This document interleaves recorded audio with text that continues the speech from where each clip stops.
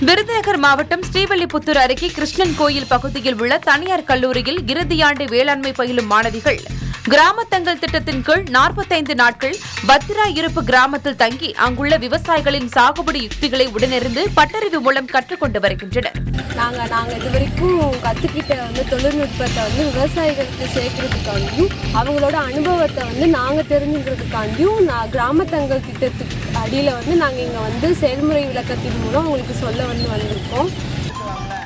வேளாண்மை துறை மூலம் செயல்படுத்தப்படும் நெல் இயந்திர நடவு பற்றிய செயல் விளக்கம் நெல் நாற்றுகளுக்கான விதை நேர்த்தி உயிர் உரங்களான அசோஸ்பைரிலம் பாஸ்போ பாக்டீரியம் ஆகியவை குறித்த விளக்கங்களும் வழங்கப்பட்டன.